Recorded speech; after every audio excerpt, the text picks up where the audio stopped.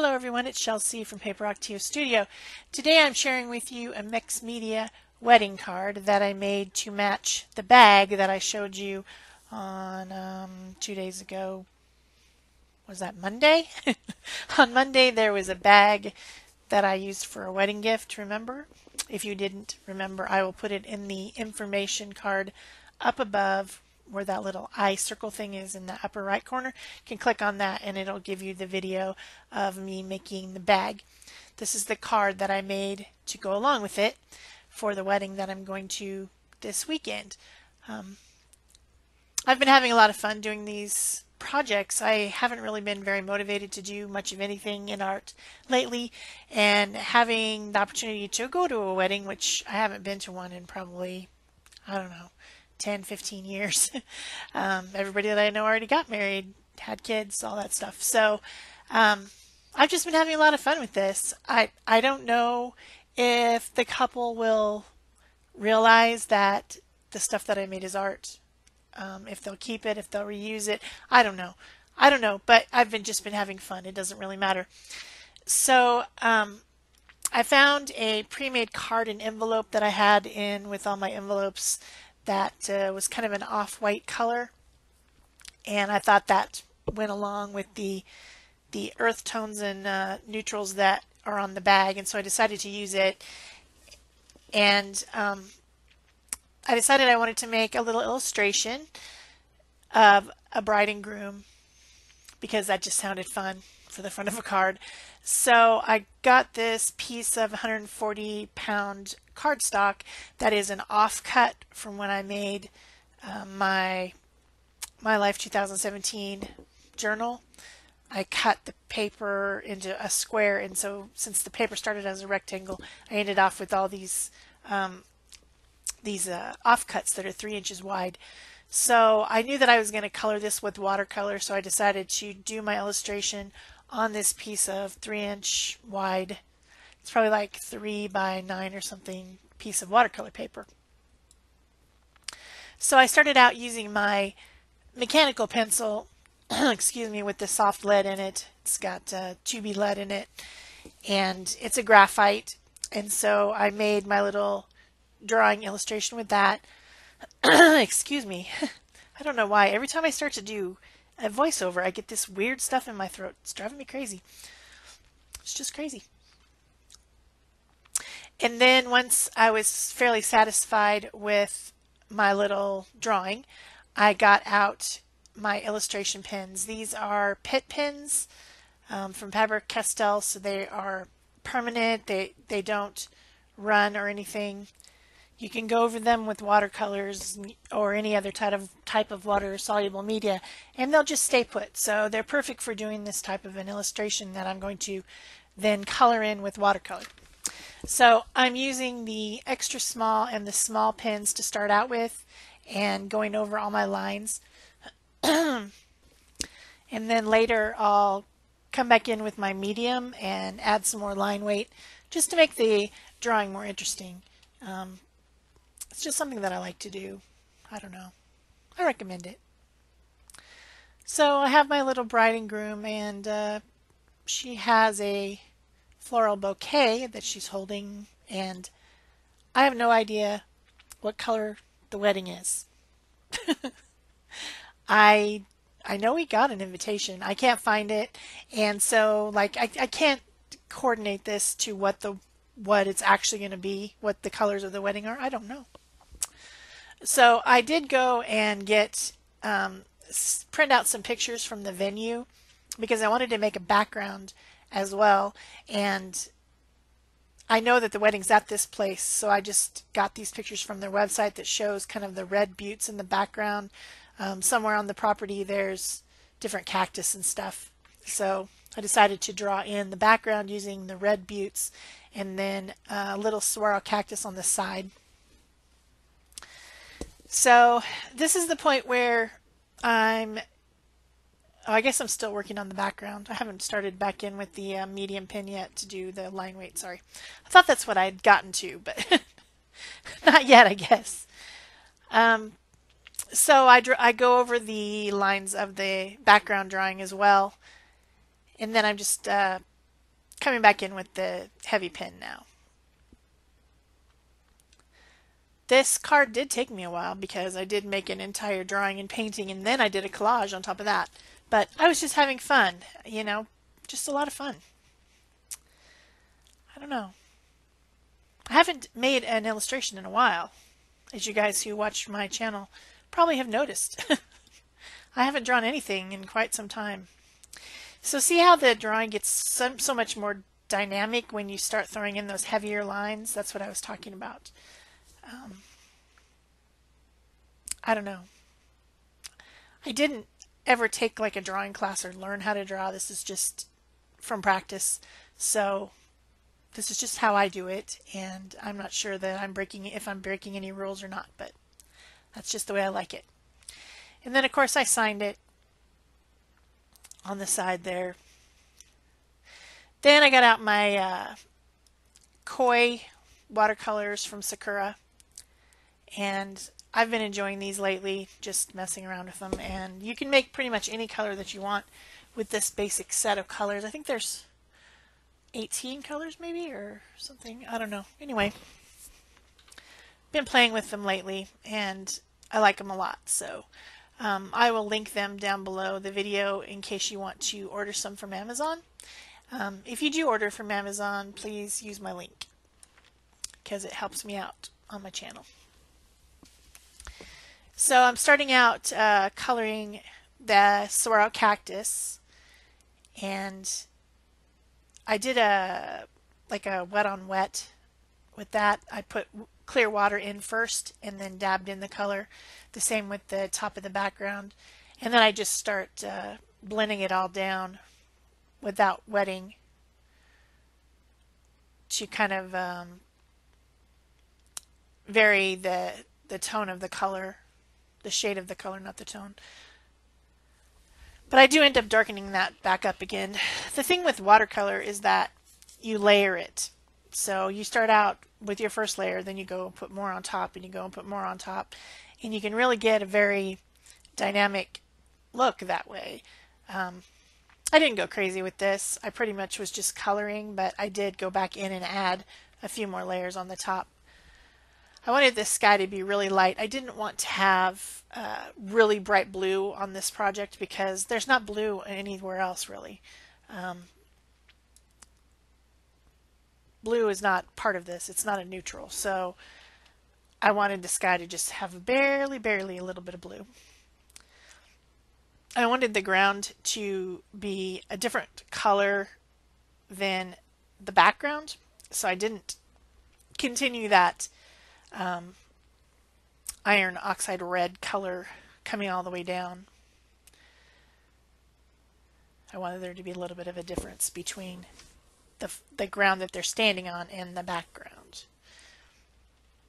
We didn't want it to be complicated. I didn't want to try to add in a bunch of other plants or greenery in the background like some of the pictures. I wanted it to be um, pretty simple so that the illustration of the couple would be the thing that you saw when you looked at it. So that's the reason I didn't add any detail in that background area right behind them. Didn't put anything in there. I could have put some more plants or something, more cactus or something, but it's not what I wanted, so I didn't. So I'm just continuing to add a few more um, layers of color there on the background, and then I start in on the couple. Of course, her dress is white because wedding dresses are white. so I'm just using a very, very, very watered down of the black, which is, you know, just a gray basically, with lots and lots of water. Um, that's how you make different tones with watercolors is the amount of water that you include in with your mixture. So it's just a real, real pale gray to add in some shadows where the, the uh, fabric would be folded over on itself and stuff like that. Because otherwise it just looks too flat. It doesn't look um, like folded fabric if it's just all white. And then I started in coloring the flowers. At first I thought they were going to be orange. Then I thought they were going to be pink. And then I ended up throwing in some red. Um, they're some kind of a variation of a warm color. I don't know. So I made his uh, tuxedo black because I like the contrast of a black suit against a white dress. But um, when I first put on the black color, it's you can't see the detail of the drawing anymore because it's all so one color. So then I go back in with just a wet brush and I add highlights by adding water to places that I want the color to be lightened. So it's kind of the opposite of putting in dark and then blending it to light. This time I put the entire thing in dark and then blend it out with just plain water to just lift out some of the color so that you get um, as if the light is shining on the suit and the suit is shiny, you know. You know what I mean? That's just something that I learned about watercolor, messing around, so that you can take it off.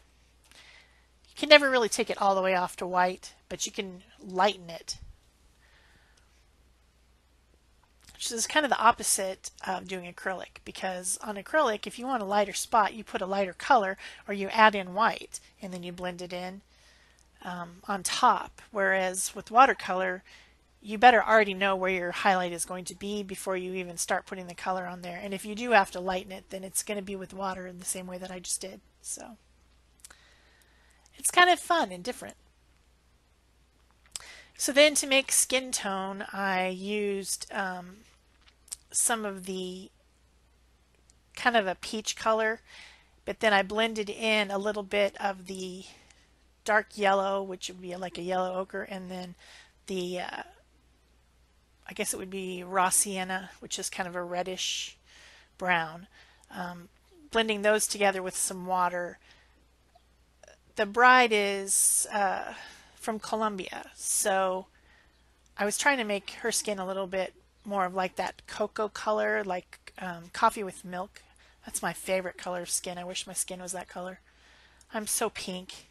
I wish I was that color. But then the uh, groom, I had a little bit of trouble with him because he's a lot more pale. So I was trying to make him pale, but also he's doesn't have a lot of hair on his head. Um, you know, and I just I didn't know how to make that. I didn't I didn't know what to do with the top of his head. I wasn't sure. I mean, if if you're completely bald, then I guess the top of your head would have a big highlight on it, and I don't know. he won't ever watch this um, video. They won't ever watch it, so they can't hear the commentary of my struggles with trying to figure out how to paint a bald person uh, without like saying, hey, he's bald. You know, look at this drawing, he's bald, you know? yeah.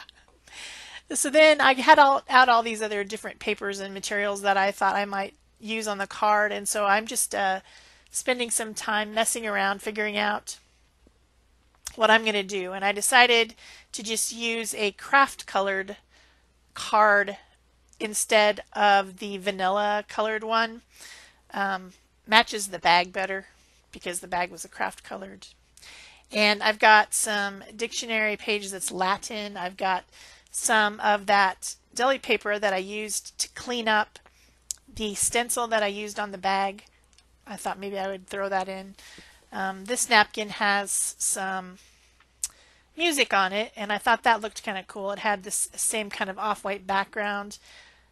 I got out a couple different napkins, but I just thought that the I didn't want I didn't want the design of the napkin to compete with the drawing that I just spent all that time drawing. So um, the, this uh, other thing that I just cut up and tore is a wine label that my friend Don sent me.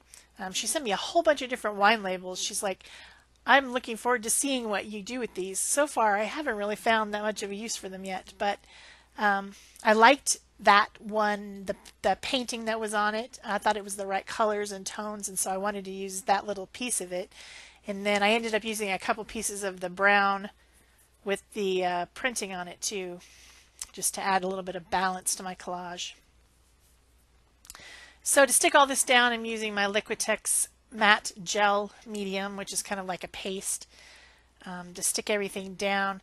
It does. I didn't. I didn't want something really super wet as as a glue. I wanted everything to be thoroughly stuck. I didn't just want to stick it down with you know tape or glue or something and have the edges flapping around it. I wanted it to be like a real collage where everything is stuck down. But I didn't want a really wet glue because this is cardstock. It's just plain old cardstock, and so it's going to buckle. And it did buckle just a tiny bit, but I'm just going to sit it under a book and it'll be it'll flatten back out fine. So I'm just sticking down on my little pieces um, to make an interesting area there on the side to make it look kind of like the bag with a kind of a linear collage with some different materials but similar. Then my final piece that I remembered I had was this paper doily and it really like when I put that on it was like okay that's what I was looking for. Until that point I wasn't very happy with my collage. But the doily was the perfect um, complement to the dress. You know kind of gives you that same type of effect as a wedding dress lace whatever. So then I just use my um, Pitt brush pens in a couple different colors of brown um, to add a little bit more shading and interest to my collage by just going around some of the edges and then blending with my finger. This is an India ink, so it stays wet just for a couple seconds, long enough for you to blend it. And then once it's on there, it's dry, it's permanent because it's India ink. So just add some more interest, more visual interest for with a little bit of shading. Then um, I did back my my illustration with some copper paper and it's so it's a nice shiny metallic copper. Imagine that me using copper. You, you would never guess that, would you? and I decided to attach it using some foam tape so that it sticks up a little bit from the background. Like it makes it kind of look like it's a separate element.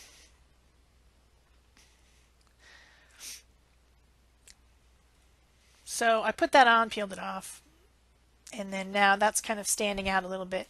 And then to add more dimension, I've got some of that same hemp twine, jute, I guess it is, not hemp, and a couple paper flowers. I found my box of paper flowers. It was missing when I was looking for my box of dictionary pages to look for the Latin ones, um, I found, in addition, I found the paper flowers. And then to finish that off, I just added one of those same uh, kind of goldy coppery colored uh, stick-on gems in the middle. I like it. I like how it turned out. So then finishing touches, I went back in with my white Posca pen and added a few highlights um, in their eyes and just around the dress and things like that. And I did end up adding a little corsage, a little white corsage on his lapel because I forgot that until this point. And since the Posca pens are opaque, they can go over the watercolor and it won't bleed through or anything. I also decided that her dress needed a little bit of like, like maybe it had some little rhinestones or something to make it a little bit shimmery or shiny. So I got out that silver Sharpie, the water-based Sharpie, and just put little dots, some little dots. And in the close-up, you'll be able to see the effect of it. From this distance, you can't really see it. But I thought it worked out pretty well. And I got back out the extra small pen just to um, reinforce some details on the eyes because they just needed that a little bit. And I think, oh yes, then I thought, oh, I can go over the whole dress with Wink of Stella. This is um, um, really, really super fine glitter in a pen form, in a brush pen. So that turned out pretty cool. I do love Wink of Stella. And then I had put some white highlights in her hair and I decided that I didn't like it. So I went back in with a brown. And so now it's like black hair with brown highlights, which is better. So I hope you've enjoyed this, and that's it for me for today. Bye bye.